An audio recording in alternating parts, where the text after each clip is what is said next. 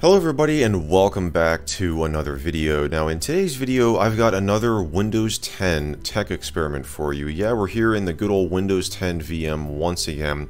And this video comes as, as a suggestion by some of you guys on my uh, Windows Vista Product Red retrospective video. And I believe a comment posted by one of you guys uh, got pretty high up there on the uh, comment list on that video. I think it was like the second or third most liked comment, which was pretty awesome. And that comment was, could you try the content pack on Windows 10?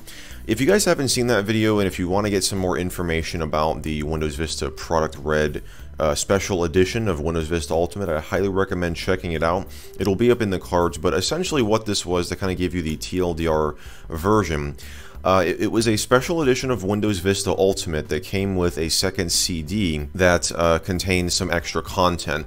And this was sold as a uh, product red product where Microsoft would donate a portion of their profits from these uh, products to the Global Fund to uh, help fight HIV and AIDS in Africa. So what we're going to be doing today is seeing if we can run this content pack here in Windows 10, and this is, as of this release uh, of this video, the latest and greatest version of Windows 10 which, if I go to uh, WinVer here, is uh, version 2004. This uh, VM is actually enrolled in the Windows Insider program. So we're to go ahead and run, we have the executable file right here. Let's just run it and see if it works.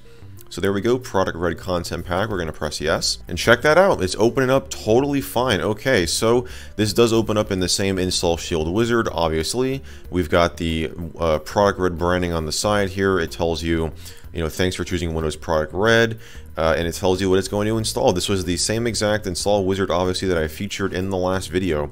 Uh, so it tells us that if you're licensed to use Microsoft Windows Vista Ultimate or Service Pack 1 of Windows Vista Ultimate, you have a license from Microsoft to use this product. So does that license apply to if we try to install this pack on another version of Windows? I don't know, but we're just going to roll with it. So let's press next. We're going to go with the custom option here just so we can see what options we have. So I'm certain that the wallpapers and screensavers will install. I don't know. I mean, the theme is, I mean, this is essentially a Windows Aero theme that changes the color to red. And you can still change the theme color in Windows 10. Obviously, it's not Aero anymore. There's no Aero glass transparency. Uh, but you can still change the theme color. So this one might work.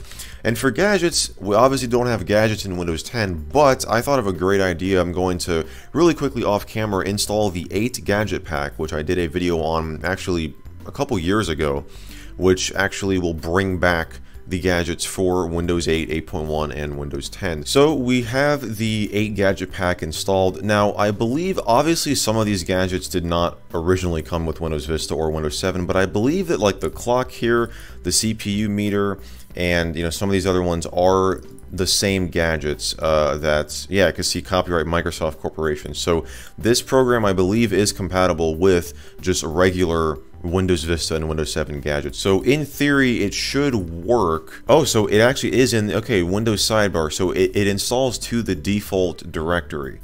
So it might actually work. Let's just go through it and okay we're gonna accept the license terms choose custom Make sure all of our options are selected, click Next, and click Install. Updating wallpaper settings, updating gadget settings. It looked like it killed the sidebar. Updating screens. Oh my gosh, check that out, it actually worked. It's setting the theme, okay, so it, it set the wallpaper, it set the gadgets check those these are the product red gadgets okay so they do work totally fine the gadgets themselves there's not really much to say about them obviously the clock is just a clock with two uh, different skins. This is a separate gadget. It's called the red clock. So you can still have, like if we go to add here, we can still add the regular clock and obviously it will work just fine. Uh, this one here is called the red button or a buy red and it's the only thing it does is when you click on it, it will open up a uh, browser window and it goes to a shopping.msn.com page, which doesn't exist anymore as far as I'm aware. Uh, so check that out. It actually works. So if you want to install this content pack, like if you have a old copy of Vista Product Red and you have this uh, content pack CD and you want to install it on Windows 10, well, the gadgets and obviously the wallpapers will work. Now, it doesn't look like it applied the theme.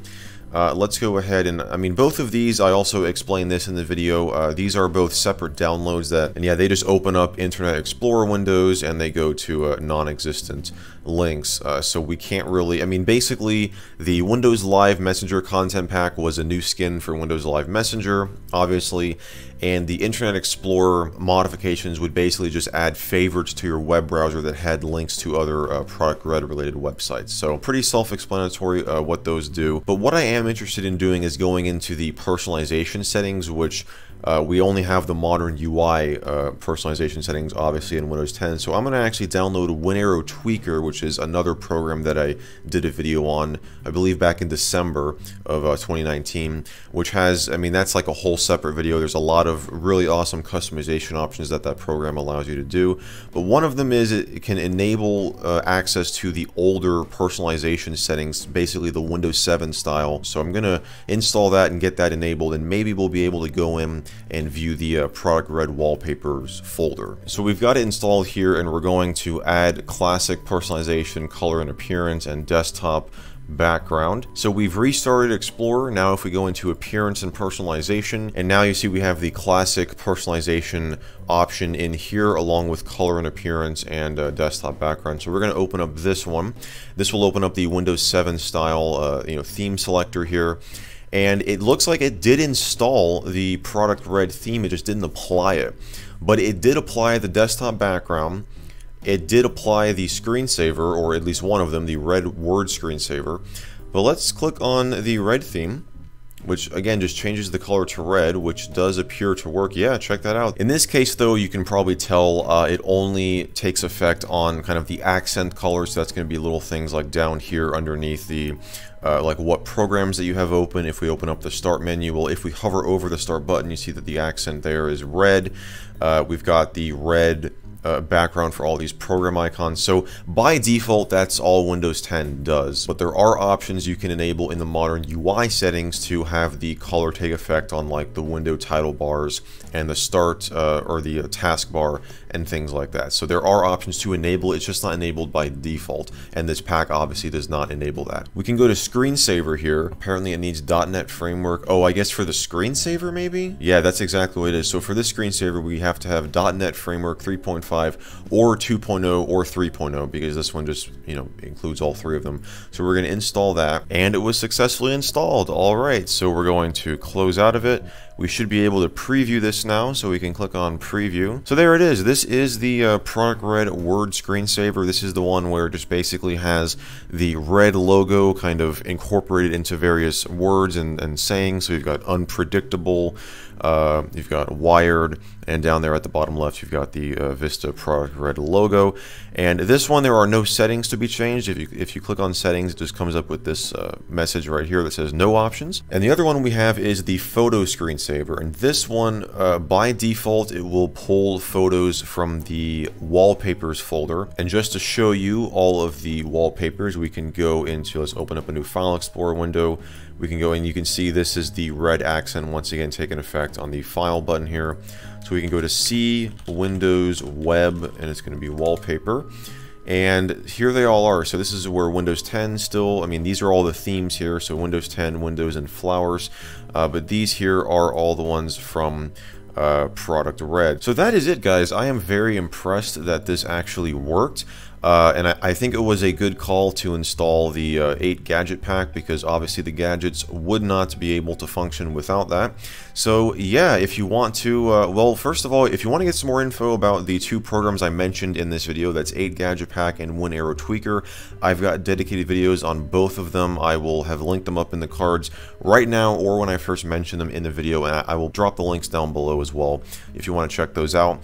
So uh, thank you to all of you who uh, suggested this one. This was very, you know, this was a pretty cool video to do, and it's awesome that everything worked as expected for once, uh, which is definitely, you know, something that doesn't, it doesn't seem to happen a whole lot on this channel. We always get into various, you know, having to kind of tinker with stuff to uh, get things up and running, but hopefully you guys enjoyed this one. If you did, definitely be sure to give it a thumbs up.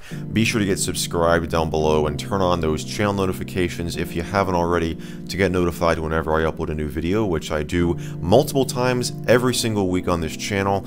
And as always, I want to thank you all so much for watching, and I will see you in the next video.